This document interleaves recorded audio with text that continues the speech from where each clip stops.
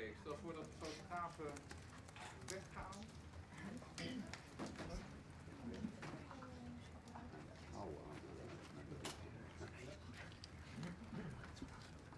Emma, geef jij een uh, aan wanneer het uh, 1 uur is? Wanneer het hier is, nou, dat is over twee minuten nog niet. Oké. Dat je alle tien.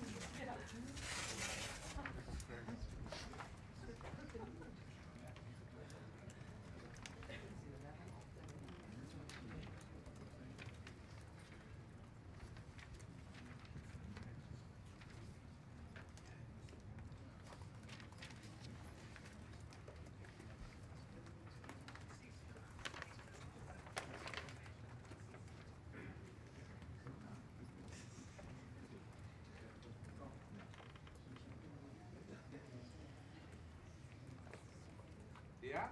Ja. Oké. Dames en heren, van harte welkom. Ik geef graag het woord aan Johan Remkes.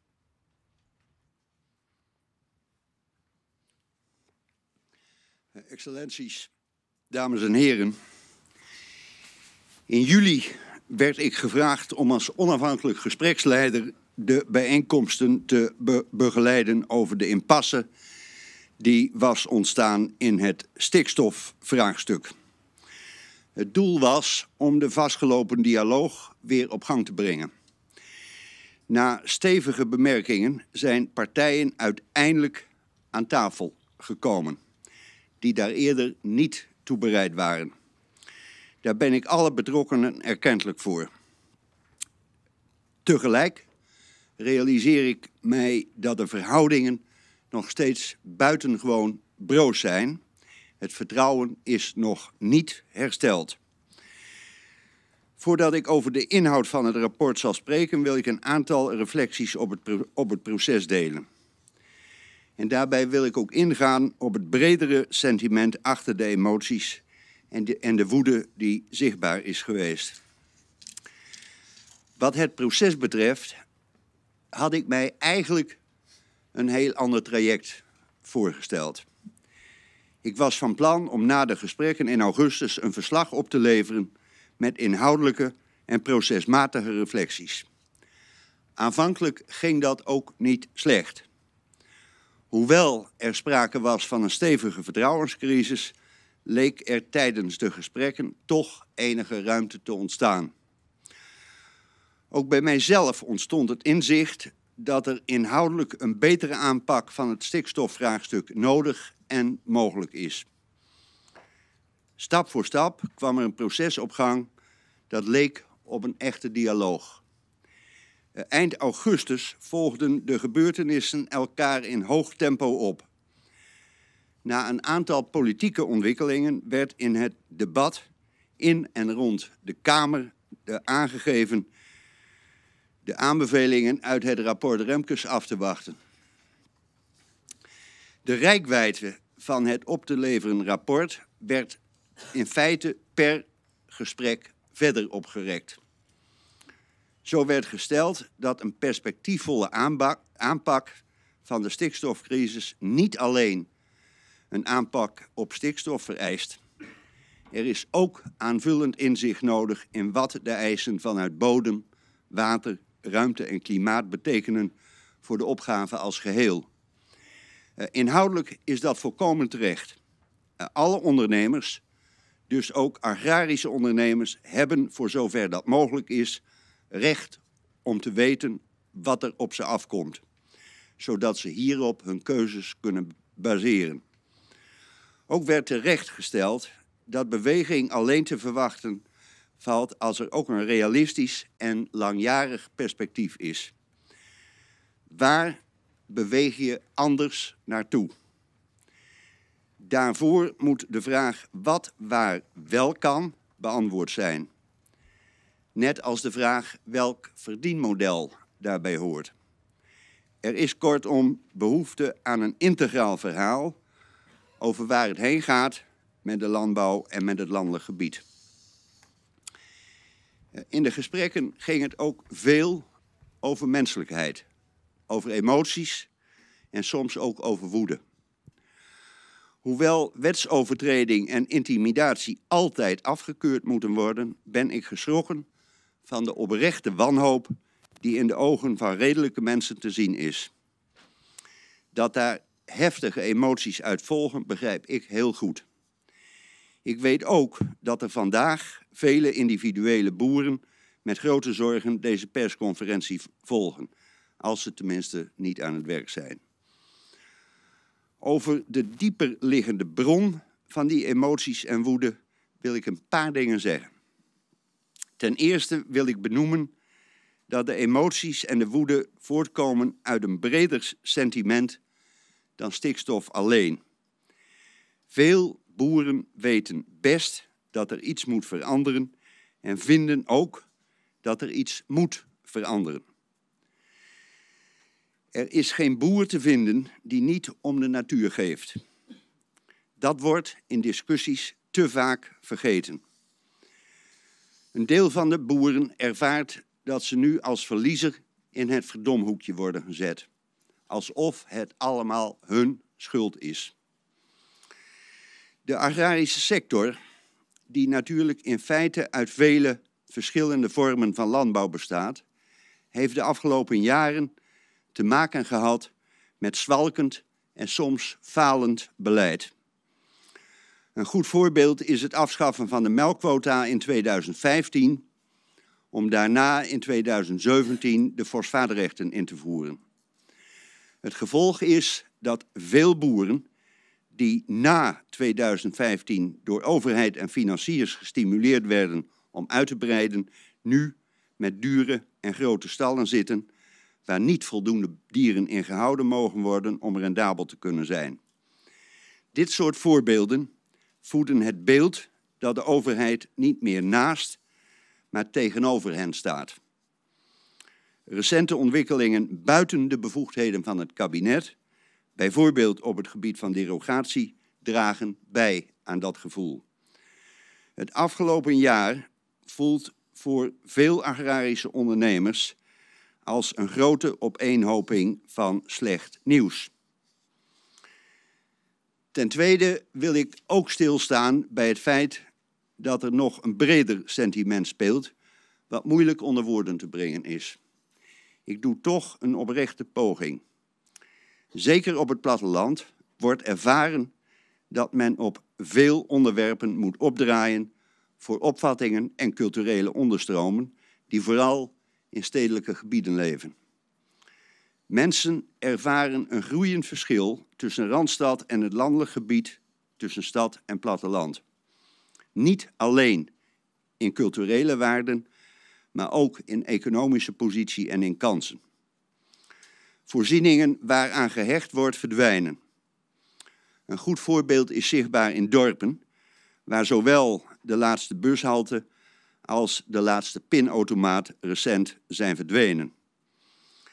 De manier waarop in politiek, media en door de culturele voorhoede soms, soms over het platteland en de daar levende opvattingen wordt gesproken, is voor veel mensen een steen des aanstoots. Ik ken het landelijk gebied en kan me dit gevoel ook vanuit mijn eigen historie goed voorstellen. Na de politieke ontwikkelingen in augustus constateerde ik met gemengde gevoelens dat ik steeds meer in politiek en bestuurlijk vaarwater was terechtgekomen. Die gemengde gevoelens waren er ten eerste omdat het schrijven van een rapport met aanbevelingen over de gehele aanpak zich naar mijn mening slecht verdraagt met de politiek-bestuurlijke verantwoordelijkheden van het kabinet. Ten tweede ontstonden die gevoelens omdat de verwachtingen over dit rapport te hoog zijn opgeschroefd voor wat mogelijk was in korte tijd. Omdat er inderdaad een integraal verhaal nodig is, ben ik samen met mijn secretariaat, alle complimenten ook in die richting, aan de slag gegaan. Ik heb vier weken extra de tijd genomen. Wij hebben daarin alle 6000 pagina's aan brieven en rapporten die mij zijn toegestuurd gelezen. Er zijn meer dan 60 gesprekken gevoerd. Zo ben ik tot de voorliggende denklijn, wat dus nadrukkelijk geen definitief plan is, gekomen.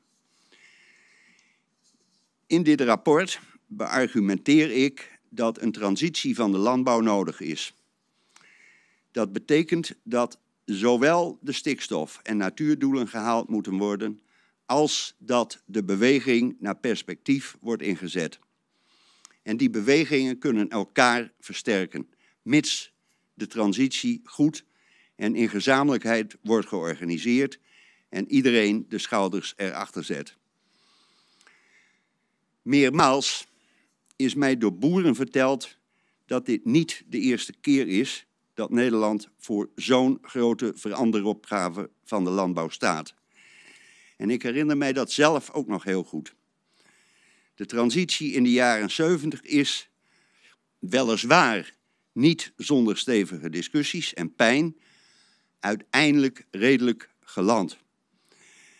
Het is de sector toen gelukt om grote stappen te zetten. Die hebben geleid tot een lange periode van bloei. Die stappen ontstonden in de gebieden zelf. En ik ben ervan overtuigd dat dit nu weer kan. Daarom benoem ik, voordat ik bij de inhoud kom, alvast dit. Er is in ons land een jarenlange toekomst voor de agrarische sector. Ook voor hoogproductieve landbouw. Boeren hebben en houden een belangrijke verantwoordelijkheid voor onze nationale voedselvoorziening en ook voor de export. Zij het dat dit in omvang waarschijnlijk zal moeten afnemen. De agrarische sector is een belangrijke drager van het landelijk gebied en heeft een belangrijke verantwoordelijkheid voor de instandhouding van de landschappelijke waarden. Wel zal het anders worden. Ik schreef eerder al dat niet alles overal kan. Dat is de laatste jaren steeds nadrukkelijker duidelijk geworden en heeft ook niet alleen consequenties voor de agrarische sector. In dit rapport schrijf ik ook wat wel kan. Net als alle andere sectoren zal ook de landbouw binnen de eisen moeten blijven die bodem, water, klimaat, dierenwelzijn, natuur en gezondheid stellen. Daaruit volgt dat veel van het goede kan blijven bestaan, maar dat er ook andere en nieuwe vormen van landbouw noodzakelijk zijn. Hoewel het anders zal worden, verandert het volgende dus niet. Nederland is ook een land van en voor boeren. Ik benadruk daarbij ook voor jonge boeren, die onderdeel uitmaken van de toekomst van dit land. Dan de inhoud. Ik heb niet de illusie dat dit rapport bij zowel de agrarische sector als bij natuurorganisaties als bij het kabinet tot grote vreugde zal leiden. Ik denk echter dat het belangrijker is om het eerlijke verhaal begrijpelijk te vertellen, dan om ten behoeve van een goede ontvangst me te verschuilen in lange zinnen met halve beloften. Dat is ook waar individuele boeren mij om vroegen. Ook als er slecht nieuws zou zijn, zeg het recht voor de raap, zodat we weten waar we aan toe zijn. Het eerlijke verhaal is dat de maatregelen tegen stikstof veel te lang vooruit zijn geschoven. En dat op korte termijn ingegrepen moet worden. Anders zal de natuur niet kunnen herstellen en gaat Nederland nog verder op slot. Het eerlijke verhaal is ook dat een groot deel van de wensen van de agrarische partijen ingewilligd kunnen worden. Niet omdat het kabinet zou moeten buigen voor asbest op de snelweg, maar omdat inhoudelijk betere plannen altijd de voorkeur verdienen, ongeacht politieke gevoeligheden. Ik behandel eerst kort de inhoud van het stikstofvraagstuk, omdat daar vragen over leven en onduidelijkheden de ronde over doen. Daarna behandel ik mijn aanbevelingen en tot slot de integrale denklijn die hieruit volgt. Veel mensen hebben gevraagd waarom stikstof eigenlijk een probleem is.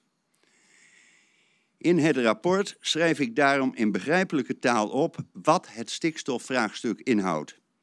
Zonder nuance is dit de kern. Nederland heeft zich in 1994, zoals alle Europese landen, politiek en juridisch gecommitteerd aan natuurdoelstellingen. Wij zijn onder andere verplicht om specifiek vastgelegde biodiversiteit en natuur te behouden en te beschermen. Dat wordt een gunstige staat van instandhouding van de natuur genoemd. Een groot deel van de soorten die wij verplicht moeten beschermen kan slecht tegen stikstof. De grens daarvan is heel precies vastgelegd en dat wordt de kritische depositiewaarde genoemd, afgekort KDW. Hoewel rapporten die bepleiten dat kleine overschrijdingen van die KDW niet bepalend hoeven te zijn gelijk hebben, zijn de rapporten het erover eens dat veel te veel stikstof altijd slecht is voor de natuur. In een groot deel van de Nederlandse natuurgebieden is nu veel te veel stikstof. Hoewel cijfers in rapporten licht van elkaar verschillen, is het gedeelde beeld dat ongeveer 40% van de neerslag afkomstig is van de landbouw, ongeveer 10% van het bedrijfsleven, 10% van mobiliteit, 35% komt uit het buitenland en ongeveer 5% uit zee. Uit Europese juridische regels volgt dat we in Nederland niets mogen vergunnen als we niet zeker weten dat de natuur er niet door verslechtert. Dat kunnen we in een groot deel van de gebieden niet zeker weten, omdat we weten dat we veel te veel stikstof uitstoten. Alle activiteiten waarbij nieuwe stikstof vrijkomt, mogen daarmee dus niet worden vergund. De afgelopen jaren is iedere juridische route geprobeerd om daar omheen te komen. Maar die routes hebben gefaald en we zijn nu aan het einde van die mogelijkheden. Dat betekent dat we de komende jaren juridisch nauwelijks meer iets kunnen vergunnen. Geen huizen, geen wegen en ook geen pasmelders die slachtoffer zijn van onbetrouwbaar beleid. Dat is geen keuze van de rechter, maar het gevolg van Europees bindende afspraken die we in de jaren 90 zelf hebben gemaakt. De afwezigheid van een werkende stikstofaanpak heeft daarmee grote gevolgen. Voor de natuur, want op sommige plekken kan die niet wachten op herstel. Voor de economie, want we weten wat er gebeurt als de bouw stilvalt. En voor boeren, want het gaat om meer dan 2500 pasmelders en interimmers. De enige manier om van het slot te gaan is natuurherstel. En dat eist onder andere dat op korte termijn er veel minder uitstoot is en het eist een blijvend dalende lijn. Er is geen andere route. Daarbij hebben alle mensen die zeggen dat er meer is tussen hemel en aarde dan stikstof volkomen gelijk. Het gaat om de instandhouding van de natuur. De kritische depositiewaarde is niet heilig en het komt niet op een komma aan. Natuurherstel eist ook natuurbeheer en andere herstelmaatregelen. Daar moet veel meer aandacht aan worden gegeven. Maar de realiteit is ook, wat we ook in wetten opschrijven of schrappen, zonder stikstofreductie kunnen we de staat van instandhouding niet bereiken en kunnen we niets vergunnen. Omdat er simpelweg niet net te veel, maar veel te veel stikstofuitstoot is. Ik benadruk dat ook de industrie, de mobiliteit en de bouw een grote bijdrage zullen moeten leveren. De focus is tot op heden veel te veel gericht geweest op alleen de agrarische sector en alleen op stikstof. Terwijl het integrale natuurbelang centraal zou moeten staan. Er moet dus ook snel een generieke aanpak komen op de reductie van de stikstofdeken die over het land hangt. En we moeten de opgave verbreden met water, bodem, klimaat, dierenwelzijn en gezondheid. Geredeneerd vanuit het algemeen belang moet Nederland van het slot af. Dat vraagt om een gerichte reductie van stikstofuitstoot. Als we dat voor elkaar krijgen, dan ontstaat er ook ruimte voor een betere aanpak van de hele transitie. Er kan dan onder andere meer ruimte in de gebiedsprocessen komen. Onder de voorwaarden van een werkende korte termijn aanpak zijn veel van de wensen van de agrarische partijen realistisch. Ik adviseer vanuit, vanuit inhoud daarom om die allemaal ook door te voeren. In het rapport staan vele aanbevelingen voor een betere aanpak. In deze toelichting loop ik enkel de belangrijkste stenen des, des aanstoots langs. En geef ik aan wat ik hierop adviseer. Ten eerste, de kritische depositiewaarde.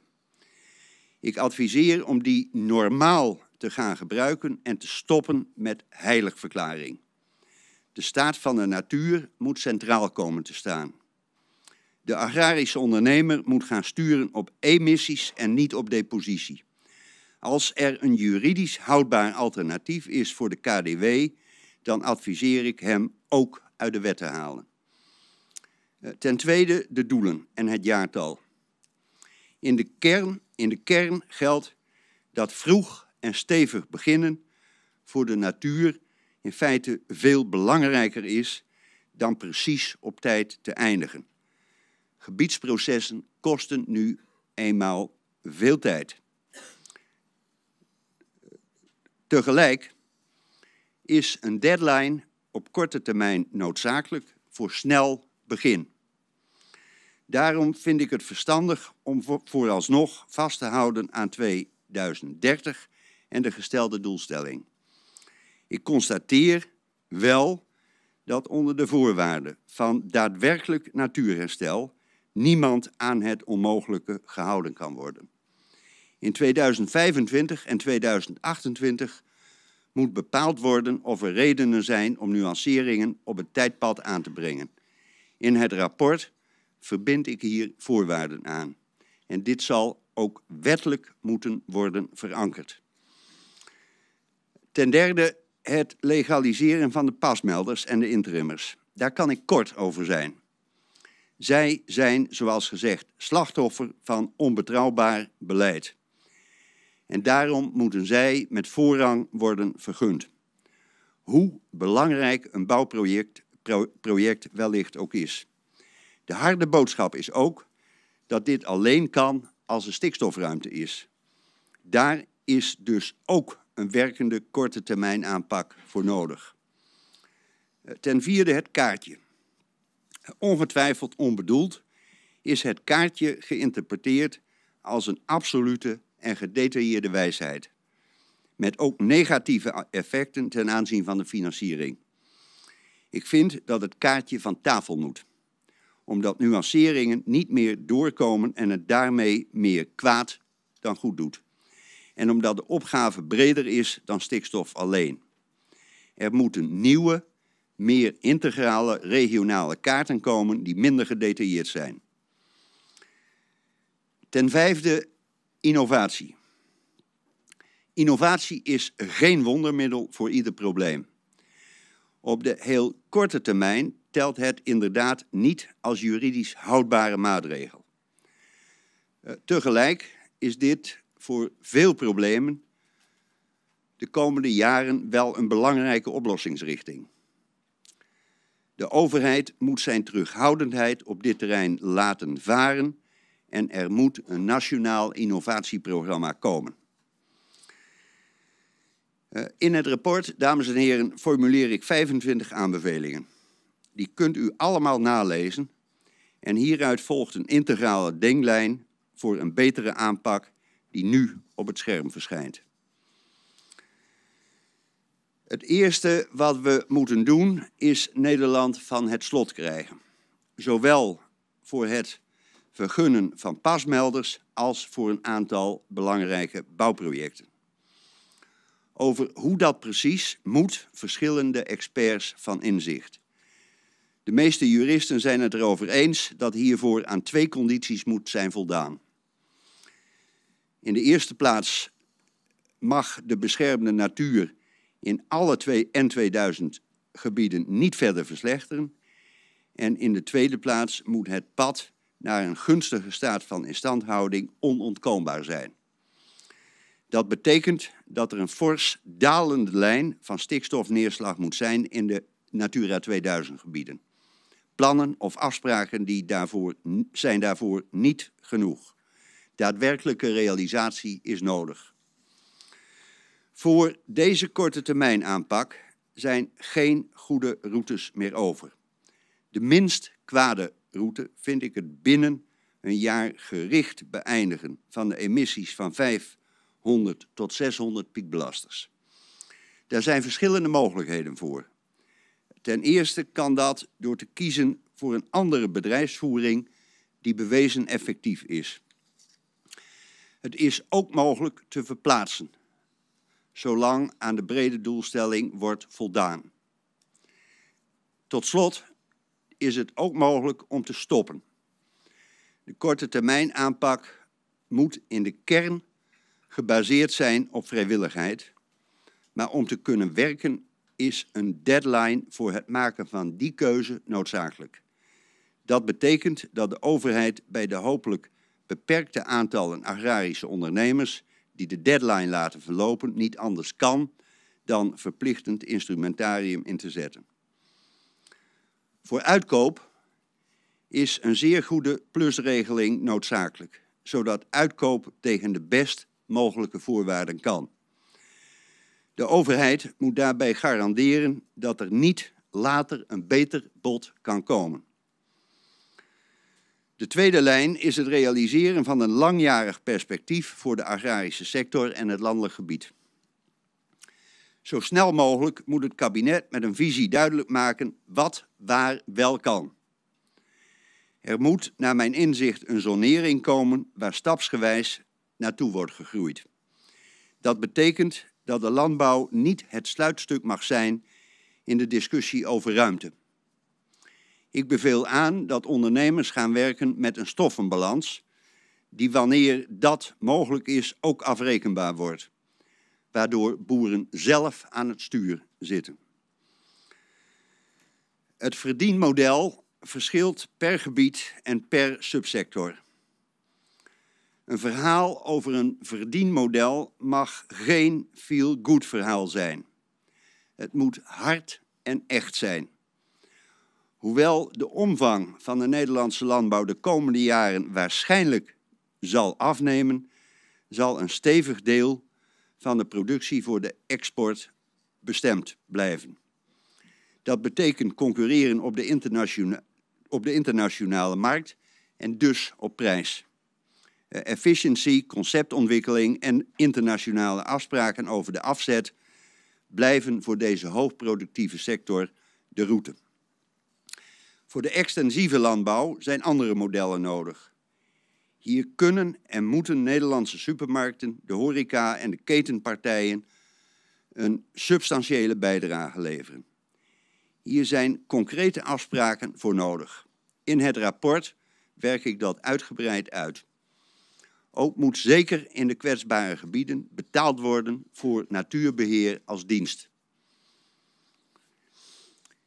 Er moet ruimte zijn voor nieuwe vormen van landbouw, onder andere in het kader van de eiwittransitie. Het moet voor jonge boeren mogelijk gemaakt worden een bedrijf over te nemen of toe te treden tot de sector. De derde lijn is om de benodigde, om de benodigde transitie daadwerkelijk te realiseren. In deze derde lijn worden de gebiedspuzzels gelegd, worden de natuurdoelen gerealiseerd en wordt de stikstofuitstoot verder gereduceerd. Ik sta een proces voor dat boeren tijd geeft om zelf hun keuze te kunnen maken. Ter ondersteuning van die keuze moet desgewenst een onafhankelijk en betrouwbaar gezicht op het erf beschikbaar zijn, zonder commerciële belangen. Er moet in deze processen altijd oog zijn voor de menselijke maat en rechtsbescherming moet zijn gegarandeerd. Met een grondbank en een transitiefonds wordt het mogelijk gemaakt om in Nederland een waardige en werkende transitie in te zetten. Ik benadruk dit. Zonder te kunnen schuiven met grond is beweging onmogelijk. Voor de overheid is het belangrijk om het integrale vraagstuk ook daadwerkelijk integraal aan te sturen. Eén overheid, zoals dat in jargon heet. Ook daar doe ik aanbevelingen over. De dinglijn die ik gepresenteerd heb moet niet worden verward met een definitief plan, zoals gezegd. Ik beveel aan dat deze kaders de komende maanden onder regie van het kabinet in een normale dialoog met sectoren uitgewerkt worden tot een plan. Zo kunnen ook de lacunes die dit rapport ongetwijfeld nog bevat, worden aan- en ingevuld. Ik zou het verstandig vinden als dit proces uiteindelijk uitmondt in een landbouwakkoord. Waarbij dus ook de kabinetsbrieven in lijn met onderhavig advies worden aangepast. Ik hoop van harte dat de verhouding tussen kabinet, sector en de maatschappij stapsgewijs kan worden hersteld. Dit vraagstuk gaat mij zeer aan het hart. Zeker voor wat betreft de individuele boeren die schade, onzekerheid of angst hebben ondervonden en nog steeds ondervinden. Ik sluit daarom af met een oproep in de richting van het kabinet en met een oproep naar de agrarische sector. Aan het kabinet, dat verantwoordelijk is voor het beleid, doe ik de oproep in te zien dat een andere, betere koers nodig en mogelijk is. Dit rapport is in feite een welkomstgeschenk voor de nieuwe minister van LNV. Ik wil hem overigens van harte geluk wensen.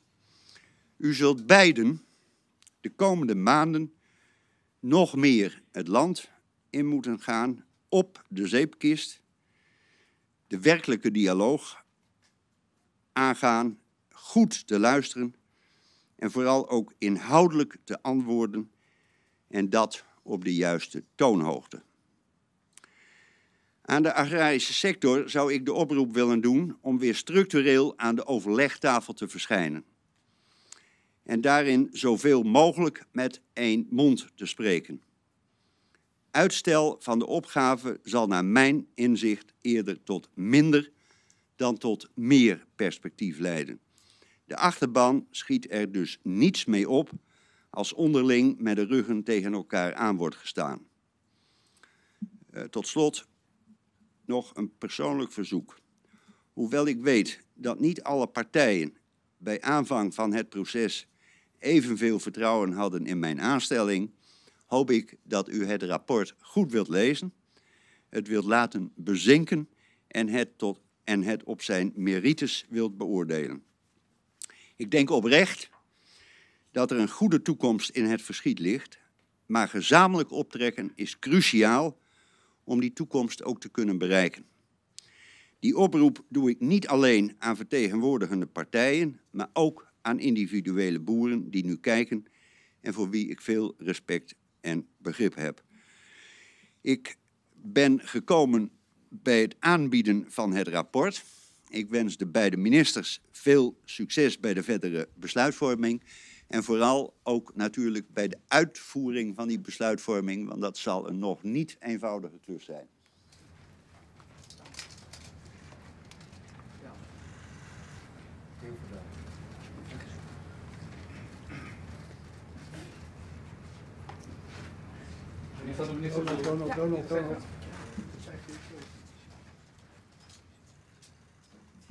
Tja.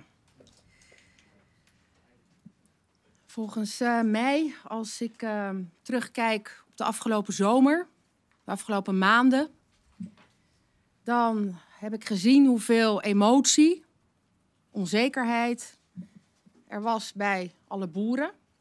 bij alle gezinnen, families, maar eigenlijk ook in de rest van Nederland. We hebben heel veel protesten gezien, heel veel demonstraties, omgekeerde vlaggen en misschien wel even heel veel afstand tussen Den Haag en de rest van Nederland. Afstand tussen stad en platteland, maar ook tussen overheid en Nederland. En daarom ben ik blij dat uh, nu er een rapport ligt. En wil ik Johan Remkes bedanken voor het vele werk, de degelijke aanpak, de vele gesprekken.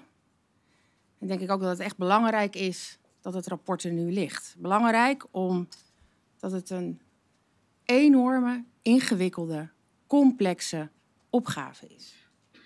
Ingewikkeld. Waarbij het niet alleen gaat over stikstof. En ik ben blij dat de heer Remkes dat ook erkent. Het gaat niet alleen over stikstof. En stikstof mag eigenlijk geen doel op zich zijn. Waar het hier over gaat, is hoe gaan we met elkaar de natuur herstellen. Om weer vergunningen te kunnen verlenen voor woningbouw, industrie, maar vooral ook voor de boeren zelf. En hoe ziet nou die toekomst van de agrarische sector eruit? En dat is inderdaad wat ons allemaal zou moeten binden en verbinden. Maar we weten ook dat dat niet kan zonder die enorm ingrijpende maatregelen. En we weten ook allemaal dat het heel ingrijpend is. En in april zijn we begonnen met een hoofdlijnen aanpak voor de stikstofproblematiek om de natuur te herstellen. En daarna hebben we in juni met elkaar de stap gezet naar wat betekent nou die opgave per gebied. En ik besef me dat die duidelijkheid die je dan moet geven, ook tot heel veel zorgen, onrust, onzekerheid en emoties voor heel veel boeren in al die gebieden leidt. En ik besef me ook hoe erg dat is. En dat spijt me ook. Helemaal omdat dat ook in combinatie is met een gebrek aan perspectief. Daarom denk ik ook dat het een heel goed advies is om de kaart van tafel te halen en te kijken naar nieuwe kaarten op een ander abstractieniveau. En vanuit al die emoties in het hele land denk ik dat het goed en verstandig is geweest dat de Tweede Kamer heeft gevraagd aan het kabinet om een onafhankelijk gespreksleider te vragen. Om te kijken hoe je weer kunt verbinden en al die partijen weer aan tafel kunt krijgen. Ik ben bij alle gesprekken aanwezig geweest. En ik wil Johan Remkes echt een groot compliment geven voor de manier waarop hij al die gesprekken heeft geleid. Zonder meel in de mond. Duidelijk naar alle partijen, kritisch, naar de overheid, naar mij, naar de agrarische sector, naar de natuurorganisaties, maar vooral ook naar al die andere sectoren die terecht echt ook een grote steen moeten bijdragen. Want deze opgave kunnen we niet alleen op het bordje van de boeren schuiven. Wat je ook aan tafel ziet en zag, is hoeveel toch ook wel tegengestelde belangen er zijn. Maar wat je ook heel duidelijk zag bij al die gesprekken, is wat ons bindt. En dat is uiteindelijk de noodzaak om die natuur te herstellen en weer die vergunningen te kunnen verstrekken. Wat ik heb geleerd van Johan Remkes tijdens al die gesprekken, is hoe belangrijk het is dat we erkennen hoeveel de boeren al hebben bijgedragen aan minder stikstofuitstoot en aan het realiseren van die opgave. En dat is iets wat ik echt meeneem ook in de vervolgstappen. En ik hoop met dit rapport dat we samen die vervolgstappen kunnen zetten. En dat het ons lukt, allemaal, bij welke partij je ook hoort, maar dat het ons met elkaar lukt om te verbinden en zo'n rapport nou is niet te lezen en te kijken met welke maatregelen ben ik het niet eens. En dat uit te vergroten. Maar gewoon eens te kijken, wat is nou het probleem dat we met elkaar moeten oplossen en wat verbindt ons nou? En dat we daarop samen gaan werken. Dat is wat ik hoop. En ik zal er alles aan doen om mijn steentje daaraan bij te dragen. 14 oktober is het streven dat wij als kabinet inhoudelijk een eerste reactie op hoofdlijnen geven. We nemen hier echt even de tijd voor met elkaar om te kijken wat staat hier nou, wat betekent dat en hoe gaan we samen met andere partijen hier een vervolg aan geven. En ik zei het al, superbelangrijk daarbij is die toekomst voor de boeren in Nederland zoals die er is. Het goede nieuws is, we hebben een nieuwe minister van Landbouw. En dat is ook mijn bruggetje naar Piet Adema om uh, het vervolg te geven, ook juist op dat perspectief. Wat moet je nog zeggen als je op een dag als vandaag een cadeau krijgt als nieuwe minister van Landbouw? Ik eh, kan u zeggen, ik heb veel bosse bloemen gehad. Ik heb kaarten gehad, maar dit is het mooiste cadeau wat ik vandaag ontvangen heb. En daarvoor wil ik u, meneer Remkes, beste Johan, heel hartelijk danken. Het is een grote inspanning geweest voor u om alle partijen aan tafel te krijgen. Zodat die partijen zich weer gehoord voelen, gezien voelen. En het was noodzakelijk. En ik wil al die partijen die wel aan tafel zijn gekomen, ook heel hartelijk bedanken voor hun inzet. Bij mijn aantreden als minister heb ik gezegd dat we moeten werken aan een nieuwe toekomst voor de landbouw. En dat de landbouw een toekomst in ons land heeft. Maar dat het ook nodig is dat er duidelijkheid komt, dat er rust komt en zekerheid. Wat ik mooi vind in het rapport van Johan Remkes is dat hij niet voorbij gaat aan het geschonden vertrouwen. En ik denk dat wij als overheid ook onszelf in de spiegel moeten kijken. Want wij zijn daar ook mede veroorzaker van geweest. Ook de tegenstelling van het platteland en de stad wordt eerlijk benoemd. De polarisatie die er is in de samenleving. En het geschonden vertrouwen ook in de samenleving zelf. En dit is nou precies de reden waarom ik uit Friesland gekomen ben om hier vandaag als minister voor u te staan. Want ik wil daar juist iets aan kunnen doen. Ik realiseer me heel goed dat het rapport van Johan Remkes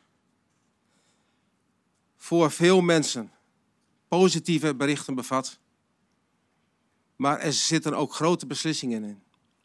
Die bedrijven, die gezinnen, die generaties diep raken.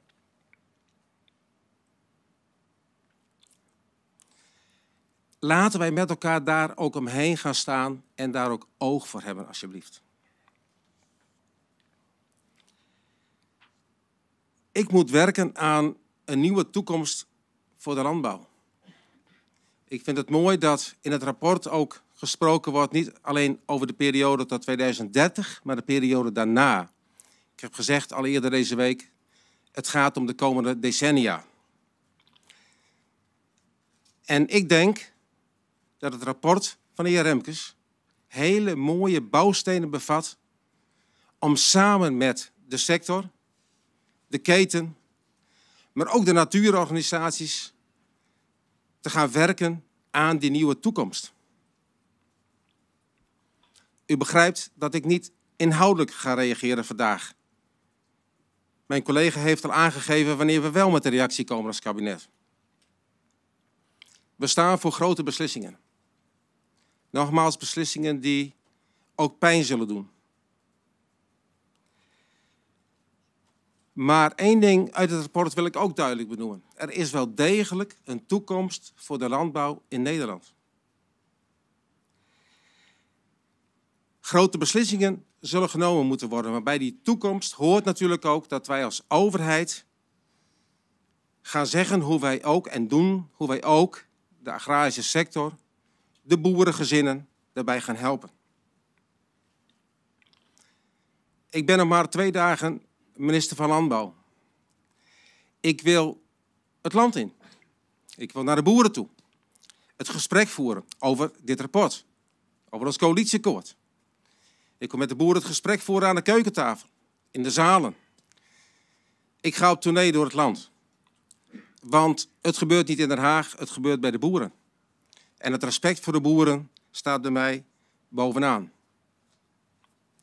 Ik realiseer me dat we grote beslissingen moeten nemen. Nogmaals, ook pijnlijke beslissingen.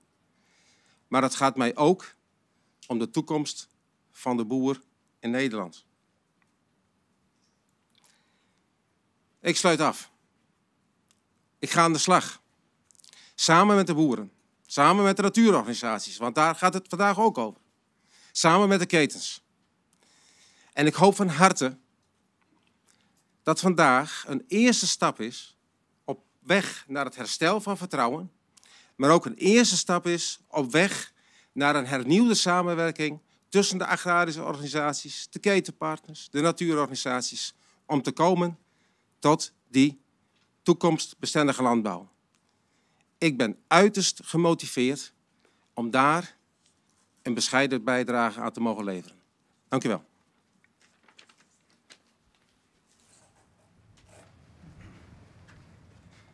Goed. Zijn er nog media live die nu dringend een reactie nodig hebben? Of kunnen we even één minuut pauze houden? Na alles wat op de af is gekomen. Nou, gaan we lekker door? Oké. Dan wil ik de Johan Rempers vragen om uh, achter het container. En zal ik zelf ook op de microfoon. Met als verzoek om, voordat je de vraag stelt, eerst even te zeggen hoe je heet en van welk medium je bent. Dat is altijd wel zo aardig voor iedereen. Emma, NOS. Nou, uh, het is voor mij gezegd. Um, u zegt en benadrukt het eerlijke verhaal te willen vertellen. Is het niet zo dat als je binnen één jaar 500 tot 600 piekbelasters moet uitkopen, dat dat, u zegt, ja, grotendeels of zoveel mogelijk vrijwillig gaat, maar zullen niet heel veel boeren gedwongen moeten worden uitgekocht? Uh, ik heb ook gezegd dat dat at end niet uitgesloten is. En dat de overheid daar ook volstrekt helder en eerlijk over moet zijn. Uh, ik heb natuurlijk ook met veel belangstelling uh, kennis genomen van het rapport van het, van het planbureau afgelopen, afgelopen maandag. En heb ook gezien dat er terugkijkend, maar dat is wel terugkijkend, zeg ik er tegelijkertijd relativerend bij dat de effecten niet al te groot zijn geweest.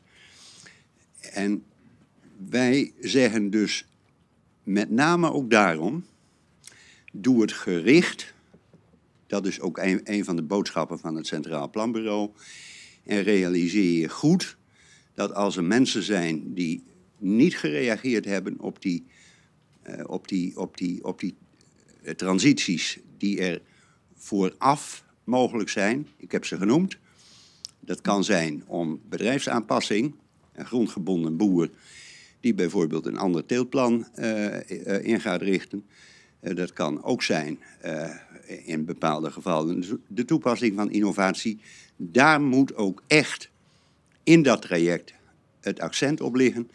Maar stok achter de deur is ook nodig. Daar ben ik maar zo eerlijk mogelijk over. En iets anders, u zegt dat er um, eikpunten moeten komen in dat traject naar 2030. Zegt u daarmee ook, 2030 moet toch niet zo rigide zijn? Kijk, ik loop te lang mee om te weten dat dit soort geloofsartikelen uh, in de tijd afgezet, dat die zo af en toe ook niet even gerelativeerd moeten worden. En ik loop ook te lang mee om te weten dat gebiedsprocessen zo af en toe, uh, ja, dat je daar zo af en toe aanloopt tegen omstandigheden die je aan de voorkant niet helemaal hebt kunnen voorzien. Vandaar dat ik zeg, tot het onmogelijk is niemand gehouden en enige relativering is op zijn plaats. Maar zeg ook niet voor niks dat die, uh, uh, ook in de richting van de agrarische sector zeg ik dat, ook dat moet dus, 2030 vooralsnog, maar ook die escape uh, mogelijkheden, die moeten dus wel in de wet komen te staan. En in het verleden heeft u ook wel frustratie geuit dat er niet al te snel al te veel was gedaan met al uw rapporten hierover. Heeft u er nu vertrouwen in dat dat wel gaat gebeuren? Uh, dat vertrouwen heb ik. Ik heb, natuurlijk, ik heb natuurlijk het oude rapport van het adviescollege er ook nog eens even op nagelezen. En ik heb voor mezelf de conclusie getrokken: het ware verstandig geweest als het vorige kabinet uh, steviger delen daarvan had overgenomen. Want een aantal van de aanbevelingen die ik nu doe, stonden al in het rapport van het adviescollege. Bijvoorbeeld de stoffenbalans, bijvoorbeeld ook geef langjariger zekerheid uh, voor uh, agrarisch uh, natuurbeheer. eh, bijvoorbeeld ook kijk naar het pachtinstrumentarium, daar is toen niks mee gedaan. RTL. En daarop aansluitend, eh, meneer Remkes, eh, u heeft ook wel eens de frustratie geuit dat er een beetje gecherrypicked werd eh, uit uw rapporten. Is het dan nu uw advies om dit eh, plan integraal over te nemen? Om deze dinglijn integraal over te nemen. En aan de slag te gaan met deze denglijn. En dan lopen de ministers die daarover vervolgens met alle betrokkenen in goede dialoog gaan, die lopen ongetwijfeld aan tegen overwegingen of omstandigheden in de discussie die je nu niet helemaal kunt, kunt overzien en die ik ook niet helemaal heb kunnen overzien. Dus die, dat type eh, kanttekening wil ik daar wel bij maken. Maar ik ga ervan uit dat het kabinet hier eh, uitermate serieus naar kijkt. Tegelijkertijd, u vraagt eh, zeker het komende jaar nogal veel van alle partijen. Ehm, bent u er nou wel echt gerust op dat dat allemaal binnen een jaar gehaald kan worden? Die eerste fase, dat zal een moeilijke fase zijn. En daar moet ook vanuit de overheid een hele adequate organisatie op worden, eh, op worden gezet. Dat zal ook aanpassing van de overheid vragen, vrees ik. als je dat op deze wijze wil doen. Maar ik heb eh, in de discussie met de agrarische partijen ook heel scherp op het netvlies gekregen dat men het heel belangrijk vindt dat er op korte termijn eh, ruimte komt voor de pasmelders. En dat gaat om ongeveer 2500. En in die weging kom je dan uiteindelijk eh, tot deze afweging, wetende dat dat een moeilijk en soms ook menselijk diep ingrijpend traject kan zijn. U zegt aanpassingen van de overheid vergt dit. Waar heeft u het dan over? Nou, ik ben zelf in een hele andere hoedanigheid nog be- betrokken geweest bij de eh, decentralisatie van de natuur in de richting van de provincies en bij eh, het overdragen van DLG. Het ministerie van Landbouw heeft niet echt meer een uitvoeringsgerichte organisatie, nog wel wat, maar daar zit een van de problemen. En dit gaat om uitvoeringsgerichtheid. En ik zie de minister van, van LNV, zie ik al knikken. SBS 6. van SBS6. Eh, u constateert dat er fouten zijn gemaakt door de politiek eh, de afgelopen jaren. U bent erg kritisch op het beleid. U constateert ook dat de afstand tussen de overheid en het platteland ongekend groot is. Is het niet naïef om te denken dat de politiek capabel genoeg is om dit probleem op te lossen? Ik heb, eh, ik, ik, ik heb zelf ooit voor het publieke, het publieke bestuur gekozen in de, in de veronderstelling. En dat bleek in een aantal gevallen bleek dat ook wel heel goed mogelijk dat eh, de overheid meer kan dan soms wel eens wordt gedacht. Maar dat moet allemaal wel op een verstandige, goede wijze gebeuren. En de, eh, nou, ik heb ze in feite benoemd. Wat er in dit proces niet goed is gegaan en tot, eh, tot veel onnodige eh, emotie eh, heeft geleid. Eh, en de minister heeft daar net ook iets over gezegd, dat is die kaart. Eh, maar bijvoorbeeld ook, eh, het waren ook veel beter geweest om, eh, om, om, om, om het perspectiefverhaal en het stikstofverhaal gelijktijdig eh, te presenteren. Eh, want eh, ja, het stikstofverhaal neemt in de ogen van veel mensen ruimte weg. Terwijl het perspectiefverhaal er juist voor bedoeld is om mensen weer perspectiefruimte te geven. Eh, en datzelfde geldt ook wat mij betreft dat bij de presentatie, wat onderbelicht is gebleven, dat ook de andere sectoren een stevige bijdrage aan dit verhaal moeten, moeten leveren. En de minister heeft ook daar zojuist iets, iets over gezegd. Dus dat, dat terugkijkend, en dat is altijd makkelijk, eh, maar terugkijkend had dat wel een tandje beter gekund.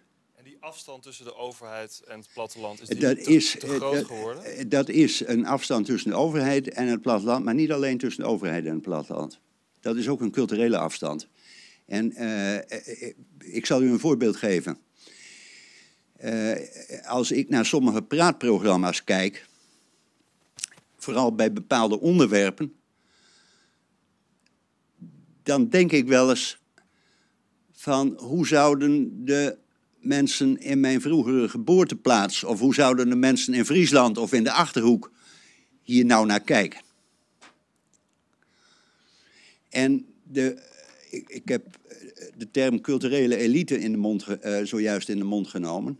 wat iedereen zich goed moet realiseren, en dat is een vraagstuk wat op het bord ligt van de samenleving, dat veranderingsprocessen niet van vandaag op morgen bij iedereen tussen de oren zitten en dat je ook niet van iedereen kunt verwachten dat ze een bepaald veranderproces in hetzelfde tempo meemaken. En dat begrip, over en weer, dat zou wel wat breder in de samenleving kunnen neerdalen. Dus het is wat mij betreft niet alleen eh, een vraag die de overheid zich moet stellen, maar ook een vraag die bij de samenleving op tafel ligt. De Volkskrant. Um, meneer Remkes, u heeft ook alle protesten gezien uh, voor uh, de zomer. Uh, nu ligt er een mooi advies van, van u. Wat staat daar nou in waardoor boeren zouden moeten zeggen... nou, nu ga ik niet meer de straat op. Waar zouden ze hoop uit moeten putten? Ik heb, ik heb gezegd, het vertrouwen is niet in een, in een handomdraai, dus ook niet met een rapport van de ene dag op de andere dag hersteld. Dus ik heb ook niet de illusie dat, dat morgen bij wijze van spreken die omgekeerde vlaggen weg zijn. Uh, dat kost tijd. Uh, dat kost tijd, maar ook in de richting van de agrarische sector zeg ik, en ik noemde dat voorbeeld van die pasmelders zojuist niet voor niks. Als men bij mij op tafel legt dat met grote voorrang en met grote spoed uh, die pasmelders vergund moeten worden, dan heeft dat consequenties. Want anders wordt ook de, vanuit de agrarische sector die boodschap hol. En ik ga ervan uit dat men dat ook zelf serieus neemt. Dus daar liggen ook een aantal onderliggende dilemma's en keuzes bij de agrarische sector zelf. En als u richting het kabinet, als u nou één aanbeveling zou moeten noemen waarvan u denkt, nou, als u die niet overneemt, dan heeft u straks weer allemaal hommeles op straat. Welke zou dat dan zijn? Gaat het om die pasmelders dan?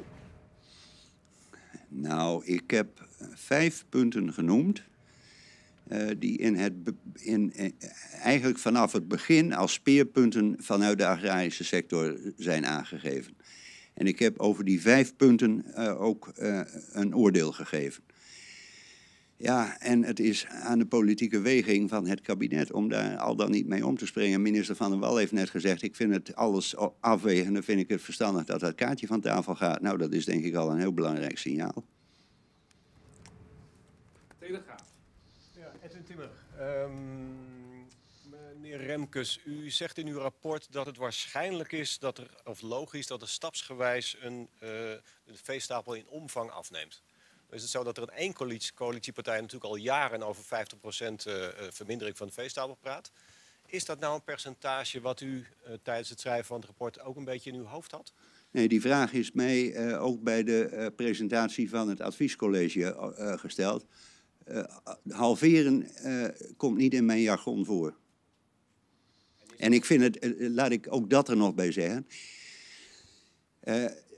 ik, ik krijg wel eens een beetje de indruk dat dat ook een soort geloofsartikel is geworden. En juist van een partij die het pragmatisme hoog, hoog in het vaandel heeft, ben ik niet gewend om geloofsartikelen voorgehouden te krijgen. Ik vind dat ook buitengewoon onverstandig en onnodig polariserend.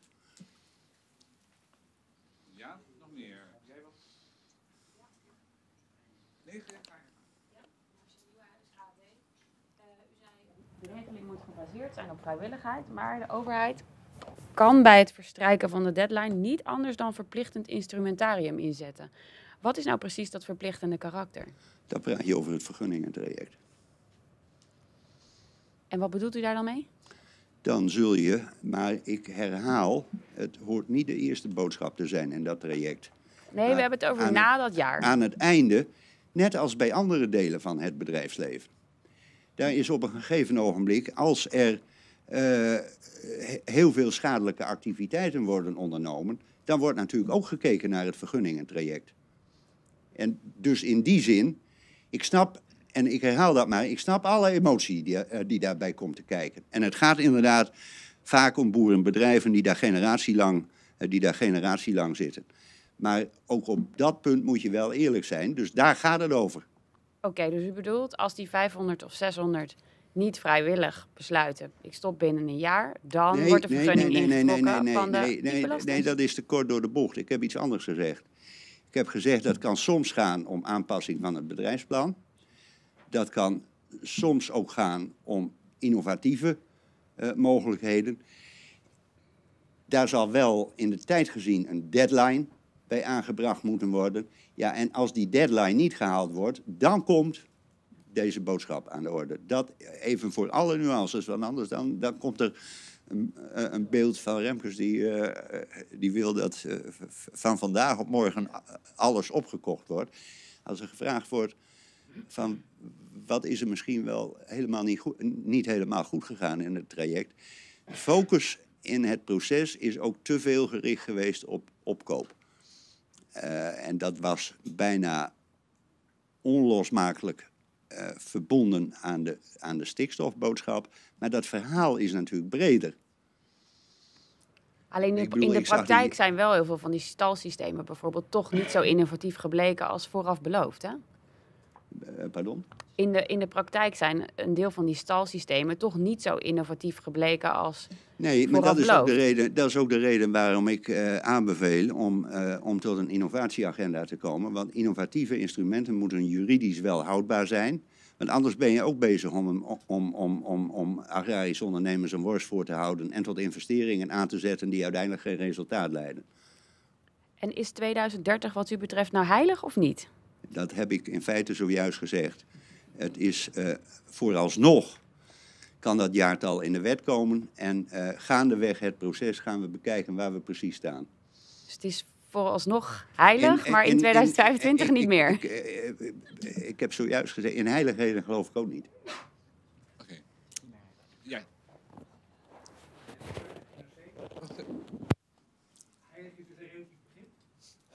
Provincies kunnen gemotiveerd aantonen dat regio's de stikstofdoelen niet helemaal kunnen halen. Daar zou er ruimte voor moeten zijn. Hoeveel ruimte ziet u dan voor het afwijken van die doelen voor bepaalde regio's? Eh, de eerste voorwaarde is dat er al eh, stevige resultaten zijn geboekt. Kijk, ik zeg in het rapport ook, eh, bij, bij dwingende, onder dwingende redenen wordt niet verstaan politieke redenen. Eh, en ik, ik ken de, de politieke discussie in sommige provincies natuurlijk ook. Eh, dat is onvoldoende basis om te zeggen, we nemen iets meer tijd. Er is net ook al gevraagd naar piekbelasters. Dat uitkopen is natuurlijk ontzettend lastig. U gaat uit van een harde deadline van één jaar. Als er dan tussen die 500 à 600 piekbelasters zijn die niet weg willen, dan volgt er dwang. Dat kan natuurlijk jaren duren. Dan duurt het veel langer. Houdt u daar rekening mee? Eh, ik, eh, de stelling die ik huldig, dat is dat eh, in dat jaar die resultaten geboekt moeten zijn. En ik zeg, en dat herhaal ik dan maar, ik realiseer mij dat dat een ingewikkeld proces is waar je zo af en toe ook nog wel eens tegen hier en daar wat juridische hobbels aan kunt lopen. Dat realiseer ik mij natuurlijk allemaal wel. Maar de inzet moet zijn dat en dat. Er moeten stevige resultaten zijn. En die stevige resultaten zijn nodig om die pasmelders te vergunnen en om eh, hele urgente bouwprojecten te vergunnen. Laatste vraag. U heeft 60 gesprekken gevoerd, hartstikke veel met allerlei partijen. U heeft vast een beetje afgetast. Denkt u dat er genoeg draagvlak is bij zowel de coalitiepartijen als bij boerenorganisaties om Eh, de gezamenlijk politiek- verder in overleg verder te gaan? Eh, eh, Ik, ik, ik heb politiek wel een, een zeker gezond verstand en inschattingsvermogen meegekregen, maar ik heb niet bij, eh, bij de coalitiepartners eh, gevraagd van vindt u dit een mooi plan? Oké. Dank u wel. Laurens Boven van uh, Brussels Nieuwe, meneer Remkes. Ehm, eh, nog even over, over die piekbelasters gericht uitkopen het komende jaar. Dat, dat staat letterlijk in uw eh, tekst. Om misverstanden te verkopen, eh, voorkomen, ik heb toch de indruk dat u daarmee het probleem eigenlijk groter maakt dan het nu was. Want het ging tot nu toe over 2030. Nou hebben we het eens over heel veel druk het komende jaar met honderden bedrijven die dus eh, mogelijk moeten verdwijnen. En dat midden in een verkiezingscampagne voor de Provinciale Staten. Ja, maar wij zeggen ook, en weliswaar een hele goede nauwe samenwerking, maar dat is een proces wat primair door de Rijk moet worden uitgevoerd. En niet door de provincies. Dus u verwacht geen wel, onrust? Omdat het consequenties heeft voor de ruimtelijke inrichting, zal dat proces natuurlijk wel in hele nauwe samenspraak met de provinciale besturen eh, vormgegeven moeten worden. U heeft eh, in uw eh, betoog net uitgelegd dat we eigenlijk in deze situatie zijn gekomen door juridisch gerommel wat, waardoor we zijn vastgedraaid in Europese eh, regels. Geeft u daarmee eh, de Europese Unie eh, de schuld? Nee, uh, in tegendeel. Uh, uh, als er sprake moet zijn van een schuldmoment, dan ligt dat halverwege de jaren negentig. Toen is, dat, toen is de habitatrichtlijn uitgevaardigd en toen zijn er natuurgebieden voorgedragen. en de huidige Europese Unie die kan daar, die kan daar weinig anders dan zijn eigen richtlijn uh, serieus nemen. Wat ik wel op een bepaalde plek in het rapport zeg, het is misschien wel nuttig, maar dat is bepaald niet bedoeld als excuus om de hand niet aan de ploeg te hoeven, hoeven te slaan. dat het misschien geen kwaad kan om in Europees verband de discussie eens te voeren of de opvattingen over natuur een niet te statisch karakter hebben. Wat bedoelt u daarmee? Nou, wat uh, toen bij de aanwijzing van, uh, van, uh, van de Natura 2000 gebieden als, als waardevolle natuur werd aangemerkt. Misschien hebben er in die gebieden een aantal ontwikkelingen zich voorgedaan, zodat je toch, of misschien tot andere, of misschien tot juist die wel of die niet komt. Dat zou mij een zinnige, en ik kan mij ook, ook niet voorstellen dat die behoefte in andere landen niet aanwezig zou zijn. Ik ga even naar de linker, mijn linkerflank. Jullie... Ja. ja. Uh, meneer Remkes, kunt u, Ede van de Groot van nu.nl. Kunt u een inschatting maken wat nou de schade is geweest van het gebrek aan perspectief voor de boeren? Uh, financiële schade bedoelt u? Ja, of mentale of vertrouwensschade. Of, ja, nou ja, ik, ik, ik, ik, bedoel, de vertrouwensschade is natuurlijk, uh, is natuurlijk groot geweest. Maar daar, daar geldt wel voor dat er een opeenhoping van factoren daarbij een rol speelt. Dat, het is niet mogelijk om dat aan één specifieke omstandigheid uh, toe te schrijven. Maar hoe belangrijk was dat gebrek aan perspectief? Dat is een belangrijk element in de discussie. En dat is tegelijkertijd de reden waarom uh, het mij nuttig leek om wel een aanzet te geven. Uh, het, het, is niet het ultieme antwoord, hè? begrijp mij even goed, maar om wel een aanzet in een denglijn te geven waarlangs je zou kunnen denken. En ook dat is overigens niet nieuw. Uh, ook uh, daar stond iets over geschreven in uh, destijds, ruim twee jaar geleden, in het advies van het, van het, van het adviescollege. dus die gebiedsmatige zon zonering die je stapsgewijs zou willen moeten bereiken, die stond daar in feite al in aangegeven. Wanneer zou dat ultieme antwoord er moeten zijn, vindt u? Ik ga er. Kijk, ik heb iets gezegd. Het mooiste zou zijn dat er een landbouwakkoord zou komen. Nou, in hoeverre dat echt haalbaar is, dat, dat kan ik natuurlijk op dit ogenblik niet overzien. Maar dat proces. Er zijn in feite twee dingen die heel snel opgestart moeten worden. Dat is uh, de route van de piekbelasters. En dat is de route van het, van het landbouwakkoord in het kader van de nadere uitwerking van, van dit rapport. Uh, ja, en hoe snel, ik, ik ga ervan uit dat, dat dat soort overlegssituaties geen jaren hoeft te duren. Dus ik ga, er, ik ga ervan uit dat uh, waar het gaat om, om, om, om, om zo'n akkoord, dat je dat toch wel volgend voorjaar bij wijze van spreken moet hebben bereikt. En ondertussen gaat de winkel natuurlijk niet dicht. Tot, tot, slot, ik, ik hoorde u tijdens uw laatste gesprek op het provinciehuis met, uh, met de boerenorganisaties onder andere, had u het over een wespennest. Denkt u daar nu uh, nog steeds over? Ja, ik heb toen gezegd van ik, ik heb gaandeweg wel het gevoel gekregen dat ik in een wespennest terecht ben gekomen. Dat gevoel overheerste toen ook, ja. En nu nog steeds, na het, na het nou, nu alles uh, ja, terugkijkend had het een aantal kenmerken van een wespennest. Jazeker. Goed, daarachter. Maar, maar zoals u ziet, ik ben er redelijk ongeschonden uitgekomen. Het wespennest wordt natuurlijk 2000 gebied, ja.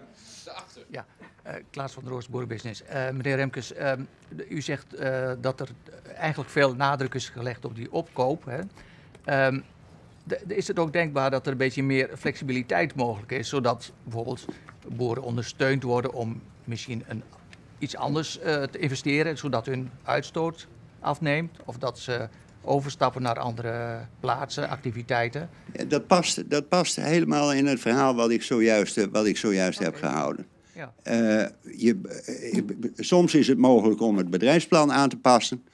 Soms is het mogelijk om, om iets met innovatieve methoden te gebruiken. En soms is het mogelijk om te verplaatsen. Maar zou het ook... Je hebt grond nodig om dat te kunnen doen. En dat, eh, dat is in, in het ene geval eh, kan dat een jonge boer wel perspectief geven. En in het andere geval zal dat lastiger zijn. Maar het is zeker een route die heel serieus genomen moet worden. Maar eh, de- vraag is ook van, als de overheid bereid is om veel geld te steken in opkoop, zou de overheid ook bereid moeten of mogen zijn om daar een beetje bij te helpen? Want misschien is dat wel goedkoper per saldo.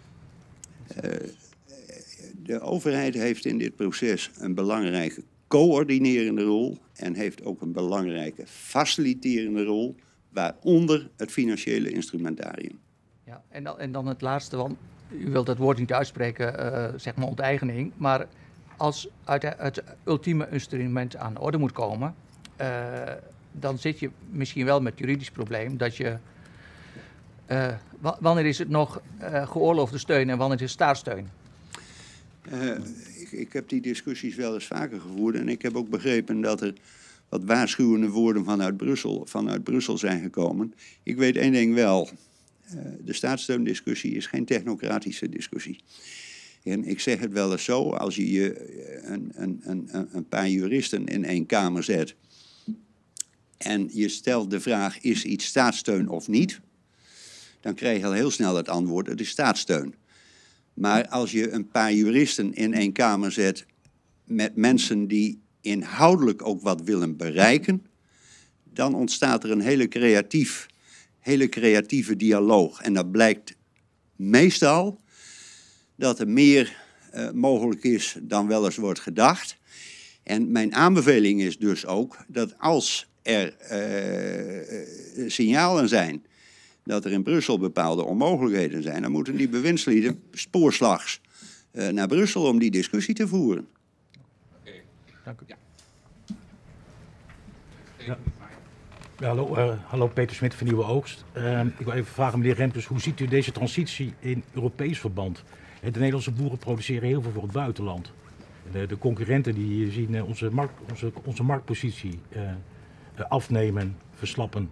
Hoe kijkt u daarnaar in het verdienmodel? Wat u, eh, Daar heb ik, eh, daar heb ik in, feite, eh, in feite iets over gezegd. Je moet je goed realiseren dat als je voor een deel op export gericht wilt blijven, dat je moet kunnen concurreren op prijs. Zeker. er moet de overheid bijstorten? Of dan... Ja, de overheid heeft dan denk ik een, een, een, een, een, een aantal instrumenten. Ik bedoel, het is ook niet zo dat in alle delen van Nederland, eh, wat mij betreft, eh, geen hoogproductieve landbouw meer plaats kan vinden. Eh, dus in, in, sommige gebieden zal dat nog wel te degen aan de orde zijn. En je zult dat gesprek ook moeten voeren. Een aanzet voor die gesprekken is ook gegeven in die, in die gesprekken die ik gevoerd heb. met, een aantal, met een aantal ketenpartners. Met retail, op export gerichte organisaties. Dus dat, is nou precies, dat zijn nou precies de gesprekken die nodig zijn om tot een verdere concretisering van het perspectief voor die boeren te komen. Want, Mike Telegraaf, ik wil wel ook een beetje richting afronding gaan. Eh, ik zie nog... LDO heeft in een eerste reactie aangegeven dat zij eh, het gericht eh, uitkopen van eh, de piekbelasters Ehm, onnodige en onmogelijke exercitie vinden. Eh, ze wijzen er verder op dat het bijdraagt aan de verdere onzekerheid voor heel veel bedrijven, omdat nog niet duidelijk is in hun ogen welke bedrijven dit betreft. Hoe kijkt u daarnaar? Nou ja, dat het nog niet eh, eh, wiskundig exact duidelijk is om welke bedrijven dat precies gaat, dat klopt. Eh, maar eh, dat, is, dat kost niet zo verschrikkelijk veel inspanning om die duidelijkheid, om die duidelijkheid wel te geven. En eh, de gesprekken die ik met eh, vertegenwoordigers van LTO heb gevoerd. Eh, dat ging met name ook over de vraag dat men zich de consequenties van de eigen wens om versneld de pasmelders te vergunnen, dat men, dat men zich de consequenties daarvan goed realiseert. Tegelijkertijd heeft het Planbureau voor de Leefomgeving deze week al aangegeven dat dan die reductie nou ja, nog niet per se eh, in zicht is.